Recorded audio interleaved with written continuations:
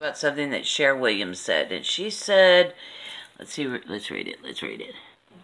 Let's make it bigger so I can actually read it. I have a problem calling myself a God because I think of God as the creator of all beings. I'm going to assume we can't create another soul, right? I don't doubt for a second we are magnificent creators of experience, though. Is the reluctance to refer to myself as a God low vibration? No, it's not low vibration. It's uh, it's not like that. It's um, a bet. You need to have a better understanding of what I mean whenever I say God. In the first place, in the first place, there's no such thing as time and space. So, creating a being implies there was a beginning to a new being and an end to a new being. That can't happen because all beings are part of all, and they've always been, and they always will be, and there's no such thing as time and space. Okay, given that, I'm going to use things that are time and space to describe what I'm talking about here. And I'm going to use an analogy, okay? No, you cannot create a soul. But there is no God that creates a soul ever, ever. So this is what happens. This is what happened with creating this whole game. There is a entity out there just like you, and let's say that they go over there and there's a there's a, a city block lot and it's empty.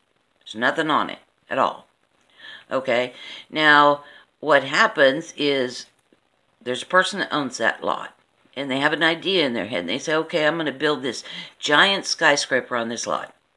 Okay? And they say, okay, well, I own this lot, but I don't know how to build anything, so I'm going to call an architect.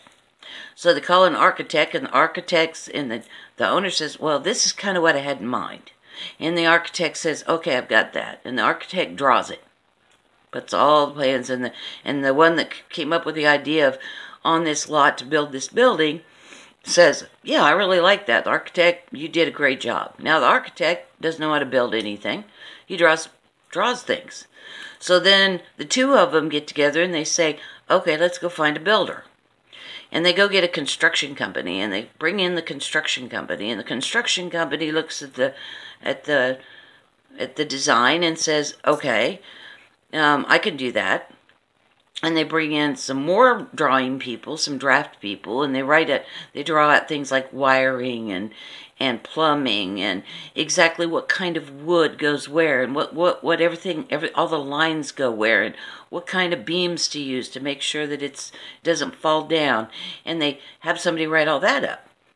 And that's a completely different person. And then they go well but it's in a city and we've got to get approval from those around us. So they bring in an inspector and the inspector looks at the plans and they go okay we, i like those plans. Now all these people were involved but nothing has been built at all.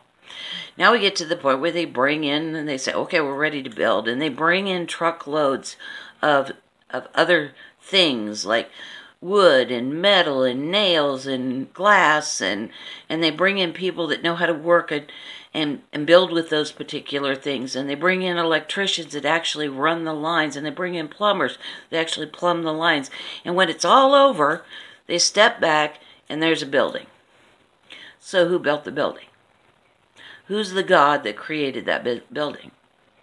Well, all of those people were gods and they created that building and nobody brought anything no create nobody created anything new in that process. All of the things that are in that building were here on this planet all along. They just took it and made it look different. That's what they did. They look made it look different. And now all of that stuff that was already on the planet with people that were already on the planet Nothing new was created, but yet stuff was taken and made it to look different so that people can go in and experience this beautiful skyscraper. And they can have offices in there, and they can have homes in there. And they have a whole new experience because it's the tallest skyscraper in the city. You see? Do you get my analogy here?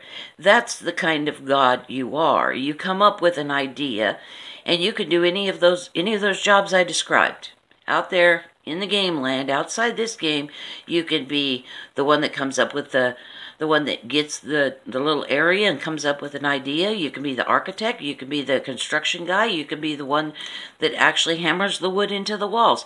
You can be any part of this creationary process that you want to be.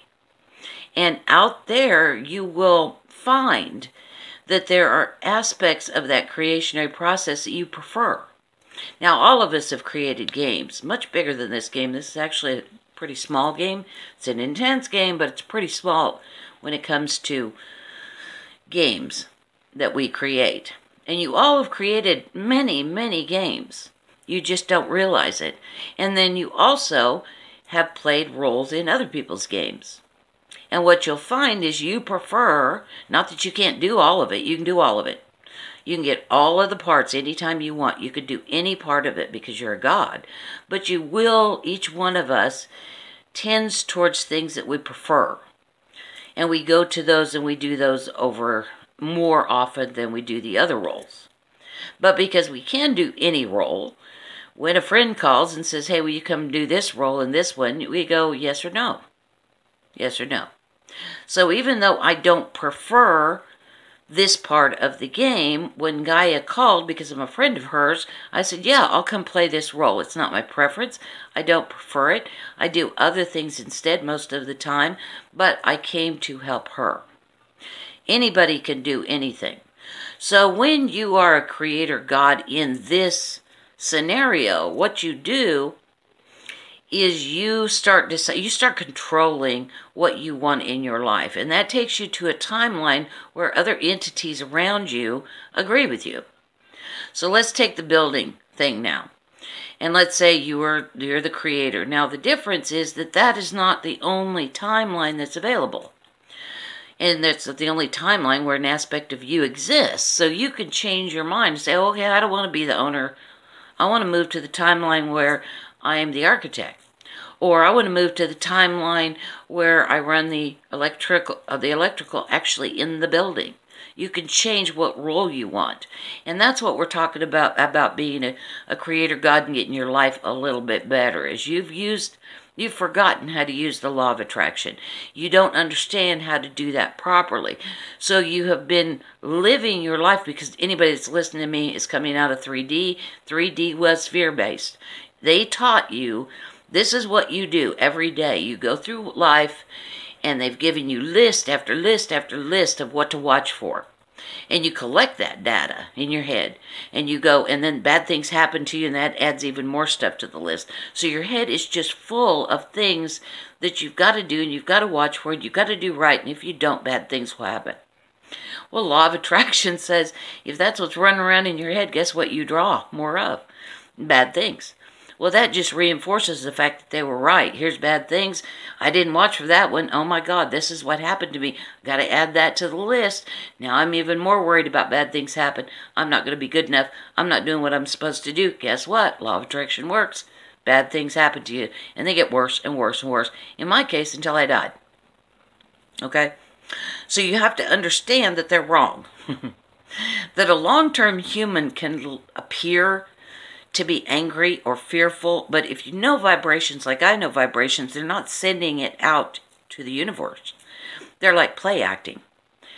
So instead of being really mad or really scared, most of the time they're acting mad or acting scared. Big difference with law of attraction. Big difference in how that goes out.